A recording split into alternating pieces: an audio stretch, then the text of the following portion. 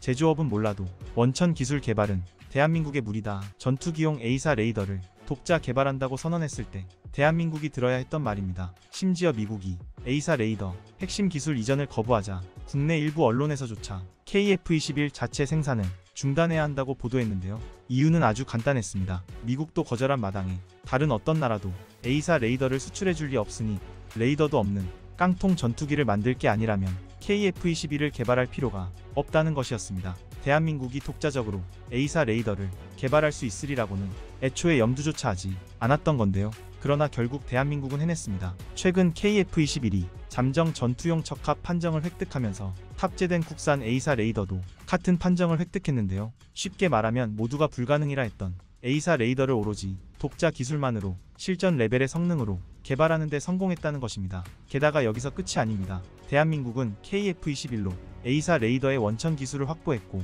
이를 발전시켜 소형화하는 데까지 성공했는데요. 드디어 FA50용 A사 레이더를 개발하는 데도 성공한 것입니다. 그리고 이 덕에 대한민국이 A사 레이더는 KF-21에 앞서 FA50에 먼저 탑재되어 전 세계 무대를 공략하게 되었는데요. 지금은 전 세계 전투기 시장에서 가장 주목받고 있는 FA50이지만 모체인 T-52 처음 개발되었을 때만 해도 수출 포지션이 굉장히 애매했습니다. 오죽하면 카이조차 T-50은 20년간 천덕꾸러기 신세였다라며 자주할 정도인데요. T-50은 F-16으로의 기종 전환을 염두에 둔 고등훈련기였기에 디지털 비행 제어 시스템과 현대식 조종석 등 고성능 기능을 갖추고 있었지만 이로 인해 가격이 상당히 높은 편이었습니다. 영상이 좋았다면 공유, 구독과 좋아요 부탁드립니다.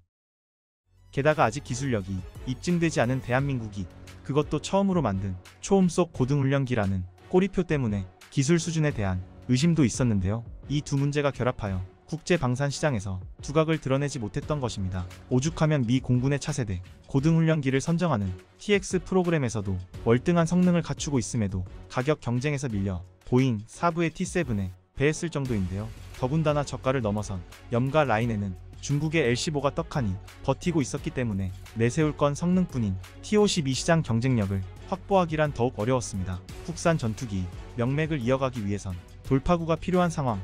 대한민국은 정면 돌파를 선택했습니다. 단점을 만회하기보다는 장점을 살려 성능 향상으로 문제점을 극복한 것입니다. T50의 성능을 더욱 향상시켜 전술입문 훈련기인 TA50으로 활용하기 시작한 건데요. 얼핏 고등훈련기와 전술입문 훈련기는 큰 차이가 없어 보이지만 두 기종은 이름만큼이나 큰 차이가 있습니다. 먼저 고등훈련기는 말 그대로 기본기만 갖춘 훈련생이 비행 기술을 전술기 운용 수준으로 연마하는 데 사용됩니다. 대한민국을 기준으로 하면 KT-1 웅비로 비행에 관련된 최소한의 기본 교육을 마치고 T-50으로 전투 훈련을 시작하는 셈인데요. 이를 위해 T-50은 초음속 비행이나 WVR 교전 상황을 가정한 post stall 기동 등 실제 전투 비행의 요소를 훈련하도록 설계되었습니다. 전술 입문 훈련기는 고등 훈련기에서 한 단계 더 성장한 훈련기인데요. 예비 파일럿이 고급 훈련을 마치면 전술 입문 훈련으로 단계가 상승합니다. 전술 입문 훈련 단계에서는 다양한 임무 시나리오에 맞춰 전투기를 운용하는 데 필요한 특정 기술을 파일럿에게 교육하는데요. 해당 단계에서는 전술과 함께 기총, 무장, 레이더 등이 조작 훈련을 함께 받습니다. 사실상 전술 입문 훈련부터는 실제 전술기를 운용하는 것과 큰 차이가 없는데요. 아닌 게 아니라 TA50에서 체프, 플레어 등만 탑재하면 바로 FA50과 동일한 스펙으로 운용할 수 있을 정도입니다. 이처럼 전술 입문 훈련기 성능이 좋을수록 훈련을 위한 전술기 투입률을 줄일 수 있는데요. 예를 들어 고등훈련기에서 곧바로 F16, F15 등의 전술기를 운용할 경우 크게는 천억 원이 넘는 가격대의 전술기로 풋내기 파일럿들의 전술 훈련을 진행할 수밖에 없습니다. 게다가 한 대가 아쉬운 전술기를 훈련에 사용해야 한다는 건 도무지 수지 타산이 맞지 않는 일인데요. 경제 논리로나 안보로나 전술 입문기의 존재는 필수적입니다. 실제로 대한민국은 TA50을 도입한 이후 KF-16 파일럿 양성을 위한 전체 훈련 기간이 3주나 단축되었고 KF-16 자체를 이용한 훈련 소요는 기존 27주에서 8주로 무려 19주나 줄어들었습니다. 이뿐만이 아닌데요. 심지어 F-15K의 경우 기존의 F-15K 파일럿이 되기 위해서는 300시간 이상의 비행시간을 가져야만 그제야 지원 자격이 주어졌지만 TA-50이 도입되면서 전투기 입문과정 수료 후 즉시 F-15K를 운용할 수 있도록 바뀌었습니다. 이 덕에 교육과정이 자그마치 1년 6개월이나 단축되었는데요.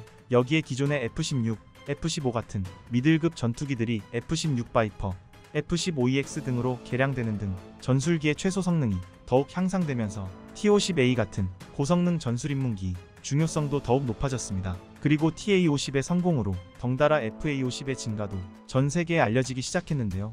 일례로 팔리핀은 FA-50PH를 도입하면서 주력기로 삼았고 거의 10년 동안 전용 전투기가 없었던 팔리핀 공군이 핵심 전력이 되었습니다. 이외에도 이라크는 경공격 및 정찰 역할을 수행하기 위해 FA-50을 도입했고 태국, 인도네시아, 말레이시아까지 FA-50, T-50 등을 도입하면서 대중국 안보라인의 천병에 대한민국의 전투기를 세웠습니다. 이제 FA-52 훈련기 한계를 넘어 전투기로까지 활동 영역을 넓혀가고 있는 건데요. 게다가 전술입문기와 경전투기 이중 역할 수행할 수 있는 FA-50의 다재다능함은 두 가지 기능을 모두 수행할 수 있는 항공기를 찾고 있는 국가에게 궁극적으로 비용 절감이 기회를 제공할 수 있습니다. 쉽게 말하면 효율이 높다는 건데요.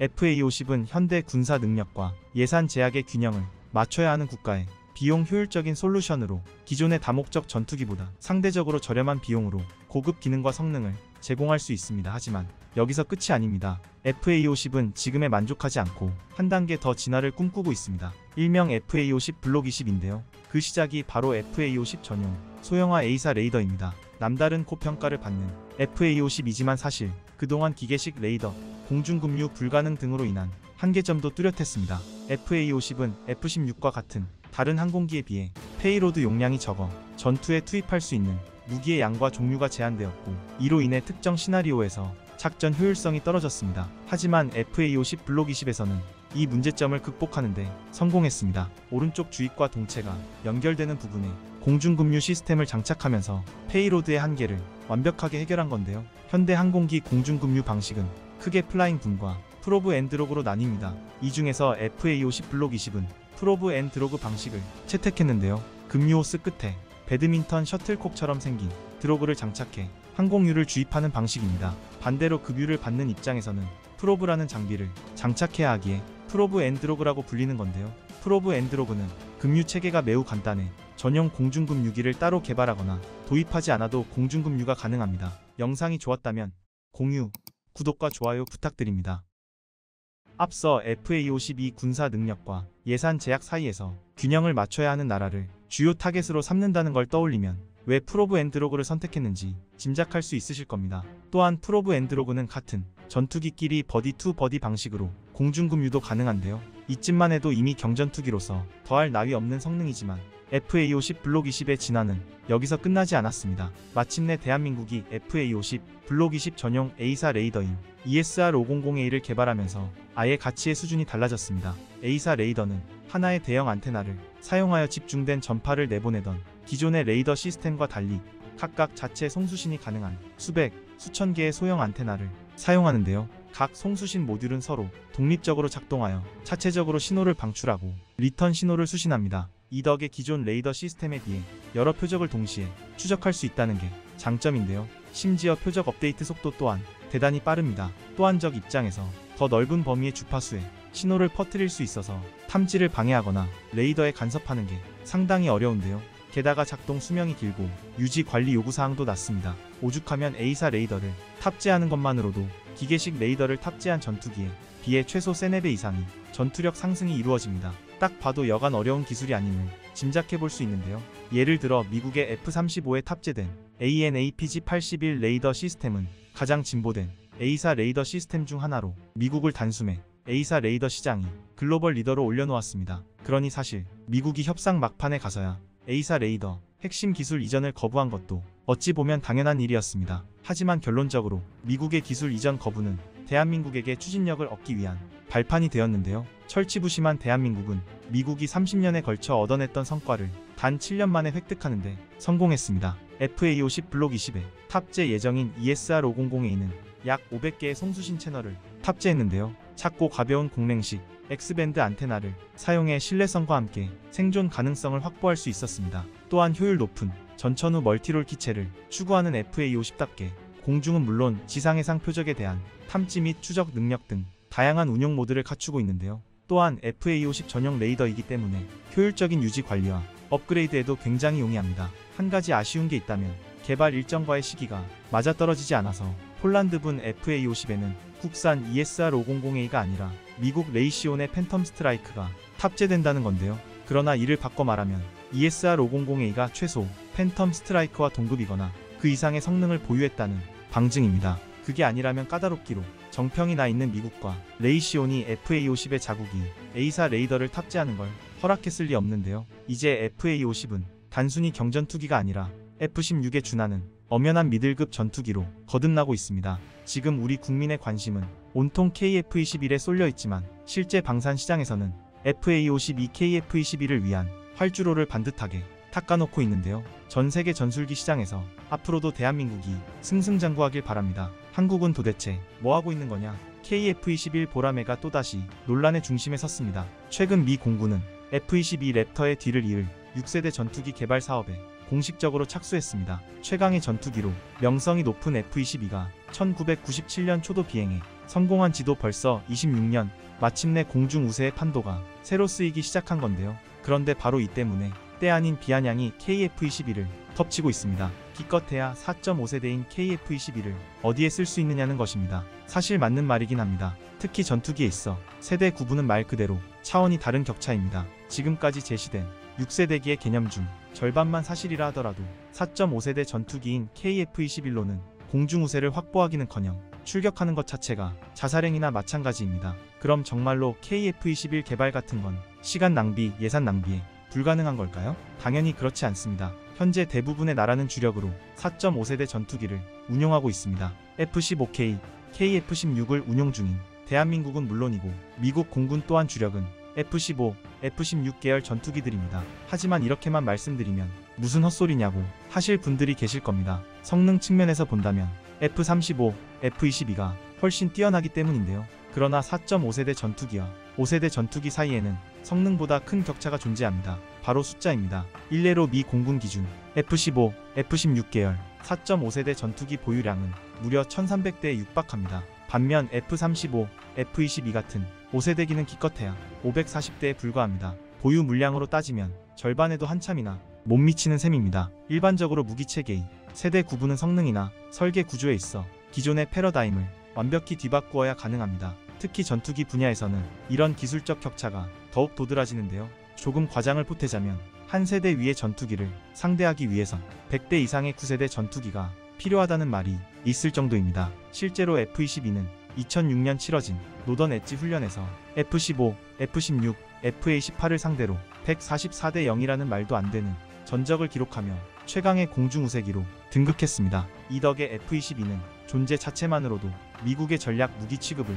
받았는데요. 그러나 현대에 와서 4.5세대라는 새로운 세대 구분이 확립되고 다른 나라의 전투기 기술도 급격하게 발전하면서 5세대 전투기의 경계는 극로도 희미해졌습니다. 한 전투기가 4.5세대로 분류받기 위해선 A사 레이더와 적외선 추적 장비 아이리스틱, 복합 소재 등의 첨단 기술이 적용되어야 하는데요. 또한 KF-21만 봐도 알 수 있듯이 스텔스 형상을 갖추고 있는 게 보통입니다. 콕 집어 스텔스기라고는 말할 수 없지만 기능적 형상에서 상당 부분 스텔스기를 추종하기 때문인데요. 그래프로 따지자면 4.5세대기는 5세대로 넘어가는 경계선에 서 있는 전투기로 할 수 있습니다. 이는 다수의 전문가가 진정한 의미에서 5세대 스텔스 전투기는 F-22, F-35뿐이라고 말하는 것과 같은 이유인데요. 그만큼 쓰이기 5세대기의 구분이 모호하다는 뜻입니다. 당연히 성능적 차이는 있겠지만 4.5세대기로 5세대기를 격추하는 게 불가능한 일은 아닌데요. 적어도 4.5세대기 144대를 동원한다 하더라도 F-22 흰대를 격추할 수 없다라는 건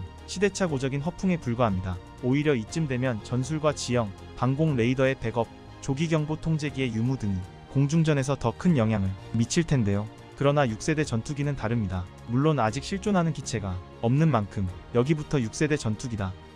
말할 수는 없지만 다수의 전문가는 5세대기 이상의 스텔스 성능을 기본으로 갖추고 대용량 네트워킹, 인공지능, 데이터 융합 등 최첨단 정보통신 기술이 접목되어 있어야만 6세대기로 구분할 수 있으리라 보고 있습니다. 이게 가능하려면 슈퍼컴퓨터급 성능의 임무 컴퓨터와 이를 기반으로 한 인공지능이 탑재되어야 하는데요. 이를 통해 육해공의 전통적인 착전 영역은 물론이고 우주와 사이버 영역에 대한 다각적이고 즉발적인 임무 수행이 가능해야 합니다. 또한 방대한 양의 정보를 실시간으로 처리할 수 있는 대용량 네트워킹 능력으로 전장 정보를 실시간으로 업데이트하고 플랫폼 간이 정보 공유가 자유롭게 수행할 수 있어야 6세대기의 기본 조건을 충족할 수 있습니다. 다시 말해 전장 전 영역에 걸친 정보 공유가 가능해야 한다는 건데요. 6세대기가 대부분의 상황에서 색적 및 추적, 최적이, 화력 지원 유도부터 결심, 타격까지 수행할 수 있기 때문에 적이 예측할 수 없는 시간과 장소에서 예상할 수 없는 방법으로 타격 작전을 수행할 수 있습니다. 무기 체계의 존재가 전략 단계의 행동에 영향을 미치는 셈인데요. 또한 6세대기는 기본적으로 멈티가 기본입니다. 심지어 6세대기 자체가 무인으로 운용될 가능성도 있는데요. 다시 말해 6세대기 한 대란 곧 전투기 한 대와 로열 윙맨 역할이 무인기 수대를 한대 묶어 부르는 명칭이라고 할 수 있습니다. 더군다나 이 로열 윙맨들은 지상에서 따로 조종하는 게 아니라 6세대기의 인공지능이 직 간접적으로 개입해서 컨트롤합니다. 예를 들면 시드 임무에서 적 방공망을 제압하기 위해 무인기를 선제 투입하는 식인데요. 이를 이용하면 6세대기 단독으로도 현대 임무 수행이 가능해집니다. 아예 그동안의 전술 개념을 송두리째 바꿔버릴 수 있는 능력인데요. 그렇기에 4.5세대, 5세대 전투기로 6세대 전투기를 격추하는 건 불가능하다는 이야기가 나오는 것입니다. 6세대기의 실전 배치가 시작된다면 수적 격차를 떠난 초월적인 성능으로 단숨에 주력으로 등극할 텐데요. 여기서 끝이 아닙니다. 지금까지의 차이가 다소 막연한 소프트 파워였다면 탑재 무장에 있어서도 상당히 직관적인 변화가 예측됩니다. 일례로 5세대 전투기까지는 재래식 화약 무기가 기본 무장이었다면 6세대기부터는 레이저, 고출력 전자파 등 광속 무기와 극초음 속 미사일 등이 기본 무장으로 탑재될 가능성이 높습니다. 마치 바다 위의 함정처럼 고출력 엔진을 기반으로 한 전력 생산, 여기서 발생한 추가 에너지를 이용한 항속거리 증가 등으로 착전 수행 능력에서부터 화력까지 말 그대로 한 차원 이상이 압도적인 성능을 보이는 것입니다. F-22가 처음 세상에 등장했을 때 그 압도적인 전투력으로 미국이 외계인과 싸우기 위해 만들었다라는 수식어가 붙었는데요. 6세대 전투기는 그 F-22를 압도할 외계인의 UFO라고 비유할 수 있습니다. 그렇기에 전투기 독자 개발의 기술력을 갖추고 있는 국가라면 너도 나도 6세대기 개발에 뛰어들 정도인데요. 미국의 NGAD 프로젝트, 그리고 영국, 이탈리아, 일본이 공동 개발 프로젝트인 GCAP와 프랑스, 독일, 스페인의 FCAS가 대표격이고 러시아와 중국도 6세대기 독자 개발에 도전하고 있습니다. 하지만 여기서 그나마 개발 가능성이 높은 건 미국뿐입니다. 러시아는 전쟁으로 인해 사실상 프로젝트가 중단된 상태고 FCAS 프랑스가 독자 개발을 운운하면서 협상 단계에서부터 삐걱대고 있습니다. 그나마 2021년 3국 간의 협의가 진행되었다고는 그러나 이조차도 개발을 주도하는 프랑스 다소의 갑질로 프로젝트 파기까지 언급되었다가 간신히 산업계 합의에 도달하면서 연명하는 수준입니다. 상황이 좋지 않은 건 GCAP도 마찬가지인데요. 가장 큰 문제는 예산입니다. 기약도 없는 전투기 개발에 세 나라가 공동으로 자금을 출자하다 보니 중간에 한 나라만 빠져도 사업 자체는 물론 나머지 두 나라의 전투기 시장에 막대한 손해를 입힐 판인데요. 심지어 영국 국방장관이 직접 나서서 파트너 중 한 명이 작업 시작 후 갑자기 철수할 경우 재앙적인 결과를 초래할 수 있다라며 엄포를 놓았습니다. 끝으로 중국은 아직까지 컨셉 디자인만 공개했을 뿐이지만 독자 개발 중이라고 주장하고 있는데요. 하지만 지금까지 중국이 보여준 카피품들이 역사를 보면 독자 개발이란 단어 자체가 중국과 연이 없어 보입니다. 오죽하면 6세대기 자체를 허상에 불과하다고 주장하는 전문가도 있습니다. 6세대기에 도달하려면 5세대 전투기라는 발판이 있어야 하는데요. 그러나 현재 미국을 제외하고 6세대기 개발에 뛰어든 모든 나라는 5세대기 개발 경험이 전무합니다. 특히 유럽의 개발국들은 이제 와서 5세대기를 새로 개발하기엔 늦었다는 판단과 더 이상 미국이 주도하는 전투기 시장에 끌려다닐 수 없다는 판단에 5세대기를 건너뛰고 6세대에 도전하고 있습니다.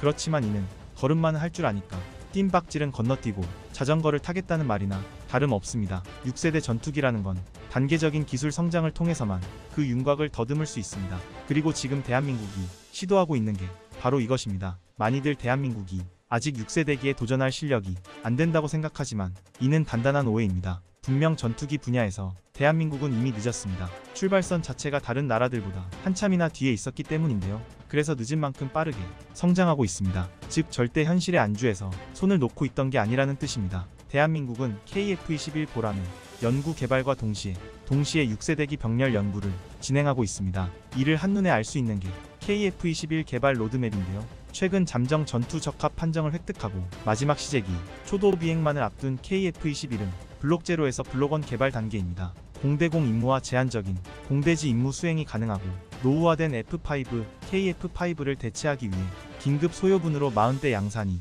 예정되어 있습니다. 이후 블록 2부터는 공대지, 공대함 임무 또한 완벽히 수행할 수 있고 80대 양산이 예정되어 있는데요. 최근 폴란드가 KF-21 개발 사업 참여 의사를 공식화한 만큼 블록 2 단계에서부터 폴란드의 참여가 유력합니다. 그리고 대망의 블록 3와 이후 단계에서부터는 5.5에서 6세대 기술이 적용될 예정입니다. 현재 반매립 형태인 무장 탑재 방식을 완전한 내부 무장창으로 개수하여 스텔스 성능을 확보하고 인공지능 기술, 고용량 네트워크, 다영역 감지 센서 적용 등 구체적인 개발 방향까지 이미 나와 있는데요. 심지어 KUSX를 연계한 멈티 체계 운용은 상당히 선명한 윤곽이 드러난 상태입니다. KF-21 무인 편대기 개발을 주관하는 대한항공은 2025년까지 무인기 단독 초도 비행을 계획 중이고 2027년 KF-21과의 합동 작전 시험을 계획하고 있습니다. 현재의 4.5세대 단계에서부터 스텔스를 확보하는 5세대 멈티와 이를 운용하기 위해 인공지능을 탑재하는 5.5세대까지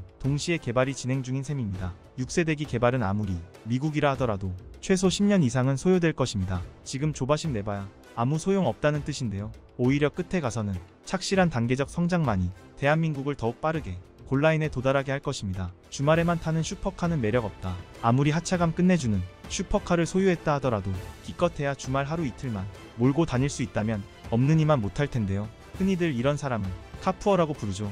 그리고 이건 놀랍게도 전 세계 전투기 시장에도 통용되는 말입니다. 5세대 스텔스기, 6세대 전투기, 성능이 아무리 압도적이라 하더라도 실제 운용력 측면에서는 4.5세대 전투기를 절대 따라갈 수 없기 때문인데요. 심지어 5, 6세대 전투기를 주말에만 타는 슈퍼카에 비유한 사람은 미 공군 참모총장이자 합동참모의장 후보자인 찰스 브라운 대장입니다. 사실상 미군 내 권력 서열 1위인 사성 장군이 4.5세대 전투기의 필요성을 역설하며 페라리는 주말에나 타는 차다라고 강조한 것입니다. 그리고 이는 다름 아닌 KF-21 보라매가 전 세계 방산 시장을 휘어잡을 수 있었던 이유인데요. 5세대 스텔스기와 공중 전력의 초월적 개념을 제시한 6세대기 분명 매우 강력한 전력임에는 틀림없지만 최초 등장 단계의 충격 때문에 그 성능이 지나치게 과장된 면이 있습니다. 먼저 6세대 전투기는 복합적인 전투 상황에서 파일럿의 의사 결정을 돕는 AI가 탑재되어 있고 더욱 강화된 스텔스 성능과 network centric 전투 능력으로 높은 생존성과 전투 효율성을 확보한 전투기를 말하는데요. 그러나 아직은 명확한 개념이 확립되지 않은 만큼 지금 단계에서 6세대기의 효용성을 논의하는 건 상당히 어렵습니다. 5세대 스텔스기는 레이더 단면적을 줄이는 동체 형상과 고도로 발달된 항공전자 장비, 전장의 상황을 일목요연하게 파악할 수 있는 네트워크 데이터 융합, 실시간 데이터 스트리밍이 가능한 임무 컴퓨터 등이 갖춰진 전투기를 말합니다. 즉 세대 간의 격차라기보다는 기능적 차이에 더 가까운데요. 그리고 이는 4.5세대 전투기라는 개념이 등장하면서 극복 가능한 수준이 되었습니다. 4.5세대기는 5세대에 버금가는 진보된 항전 장비를 탑재하고 있는데요. 4세대 전투기에 비해 훨씬 향상된 비행 제어 시스템과 센서 융합 기능이 포함된 정교한 항공 전자 시스템을 갖추고 있습니다. 또한 AESA 레이더를 포함해 보안 데이터 링크를 통해 전장의 정보를 공유할 수 있는 네트워크 중심의 전쟁 수행 능력을 갖추고 있으며 5세대기만큼은 아니더라도 구조적으로 레이더 단면적을 감소시킬 수 있는 동체 형상을 띠고 있습니다. 가장 단적인 예가 바로 KF-21 보라매인데요. KF-21은 F-22 랩터와 유사한 외형 탓에 한때 서구 군사 관계자들 사이에서 Baby Raptor라는 별명으로 불렸습니다. KF-21은 단순히 레이더 반사 면적을 줄일 수 있는 최적의 형상을 취했을 뿐이지만 자연스러운 수렴 진화로 인해 F-22와 닮은 모습이 된 건데요. 여기에 일반적으로 4.5세대기는 4세대기에 비해 더욱 고성능 엔진을 탑재하면서 더 나은 연료 효율성과 추중비를 확보했습니다. 그 결과 4.5세대기는 세대 간의 격차를 나타내는 구분법이 무색하게도 5세대 스텔스기를 격추할 수 있는 성능을 확보하게 되었는데요. 스텔스는 어디까지나 탐지 범위를 줄여줄 뿐이지 완벽하게 보이지 않게 만들 수는 없습니다. 공중조 기경보 통제기의 지원을 받은 4.5세대기가 충분한 거리까지만 접근할 수 있다면 5세대기를 격추하는 건 어렵지 않습니다. 특히 KF-21에 탑재된 IRST는 열 신호를 감지하는 데다 레이더와 달리 특정 전파를 방출하지 않기 때문에 추적 중인 전투기 모르게 탐지가 가능한데요. 물론 앞서 말한 대로 BVR 범위 이내에 접근해야 한다는 단서 조항이 붙지만 5세대기는 레이더에 노출되는 단면적을 최소화하기 위한 설계 특성상 공기 역학적인 구조를 채택하기 어렵고 이로 인해 4세대기와 비슷한 수준의 기동성을 보이며 최고 속도는 더욱 떨어지는 경우가 많습니다. 일례로 F-35의 최고 속도가 마하 1.6에 불과하지만 KF-21은 아직 시험 단계임에도 이미 최고 측정 속도가 마하 1.8을 돌파했습니다. 게다가 F-35가 완전한 스텔스 성능을 구사하려면 내부 무장창만을 사용해야 하는데 여기에 탑재 가능한 무장이라고 해봐야 2000파운드급이 고작입니다. AIM-120D 암람 내지 JDAM 4발을 탑재하는 게 전부라는 건데요. 스텔스기가 분명 훌륭한 전략적 요소를 제공할 수 있는 건 맞지만 절대 만능은 아니라는 것입니다. 이쯤 되면 왜 슈퍼카라는 비유가 전투기에도 들어맞는지 이해할 수 있으실 텐데요. 공통점은 또 있습니다. 바로 도저히 감당할 수 없는 유지비입니다. 오죽하면 1년에 국방비만 1000조 이상 쓴다는 미국조차도 말도 안 되는 유지비 탓에 지금까지도 4.5세대기를 주력으로 사용하고 있을 정도인데요. 단적인 예로 F-22A 랩터는 미국 회계감사원의 추산 결과 비행시간당 소모 비용이 약 8만 5천 달러에 육박합니다. 1시간에 1억 1200만원 넘는 돈이 공중분해되는 셈인데요. F-35의 경우 시간당 약 3만 6천 달러, 한화 약 4,700만 원이 소모됩니다. F-22의 유지 비용이 워낙 천문학적이다 보니 얼핏 적어 보이는 금액인데요. 하지만 이건 빙산의 일각입니다. 아직도 개발이 마무리되지 않았다는 F-35 프로그램의 연간 총 비용은 무려 85억 달러에 달합니다. 다시 말해 F-35 한 종류에만 연간 11조 원이 넘는 예산이 투자되고 있는 건데요. 이를 바탕으로 추산한 결과 F-35를 수명 주기인 60년 동안 운용한다고 가정할 시 자그마치 1조 달러가 넘는 유지 비용이 필요합니다. F-22, F-35는 5세대기라는 특수성 때문에 생산량이 낮을 수밖에 없고 이는 필연적으로 부품 비용 증가를 야기하는데요. 게다가 스텔스 도료 코팅, 특수 유지 보수 절차, 고유 항공 전자 시스템 사용 등이 유지 비용을 천정부지로 치솟게 하는 원인입니다. 미국조차 이를 감당할 수 없다 보니 F-22 퇴역 절차에 돌입한 건데요. 한편 여전히 미국을 포함한 많은 나라에서 주력으로 사용되고 있는 F-16의 비행시간당 소모 비용은 약 2,900만원, FA-18 슈퍼호넷은 약 2,400만원에 불과합니다. 이와 같은 범용적인 성능, 합리적인 유지비 덕에 4.5세대기는 여전히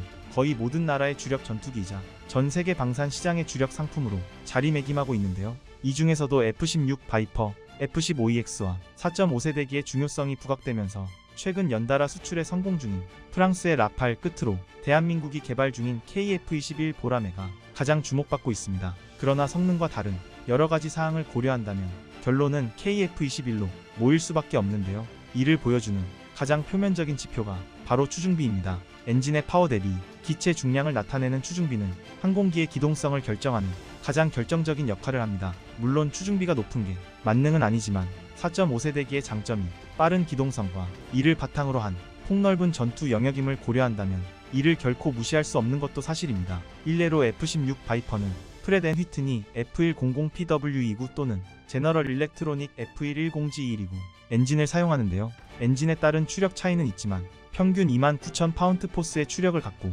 평균 전투 중량을 고려했을 때의 추중비는 1.2입니다. 흔히들 추중비가 2를 초과하면 엔진의 추력만으로 전투기를 수직 상승시키는 게 가능하다고 비유하는데요. 50%의 연료를 탑재한 F-35A의 추중비가 1.07로 간신히 이를 초과한다는 걸 생각하면 F-16 바이퍼의 기동성은 놀라운 수준입니다. 반면 F-15EX는 최대 추력 29,500파운드 포스의 GF110-129 F터버너 터보팬을 탑재했고 추중비는 0.93 남짓입니다. 초기형 F-15는 공중우세기로 설계되었지만 후기형으로 갈수록 공격기와 전투기의 역할을 모두 수행할 수 있는 방향으로 개량 초점이 맞춰졌고 이에 따라 필연적으로 폭장량이 늘어나는 대신 추중비는 낮아졌습니다. 실제로 우리 공군도 F-15K를 전폭기로 운용하고 있는데요. KF-21의 최대 라이벌로 평가받는 라팔의 경우 스네크마 M882 엔진을 탑재했고 최대 추력은 17,000파운드 포스로 동급 기종 대비 다소 낮은 편인데요. 추중비도 가장 보편적인 라팔 B형 기준으로 0.98에 불과합니다. 왜 지금까지 라팔이 방산 시장에서 외면받아 왔는지 알 수 있는 대목인데요. 이와 반대로 KF-21은 같은 F414G400 엔진을 사용하는 FA18 EF보다 작고 가벼우며 동급 추력의 F35보다 ing면 하중이 작다는 이점 덕분에 수치상 추중비가 유로파이터 타이푼에 육박할 것으로 추정되는데요. 수치로 치환하면 약 1.15에 달하는 셈입니다. 하지만 여기에 3주 FBW, LEX, 가변 캠퍼 날개 등이 적용됨에 따라 실제 가속력과 선의 능력, 고바든각 기동력은 더욱 높은 수준일 것으로 전문가들은 분석하고 있습니다. 이뿐만이 아닙니다. 운용 비용 측면과 무장 호환성 측면에서도 KF-21은 상당한 장점을 갖추고 있는데요.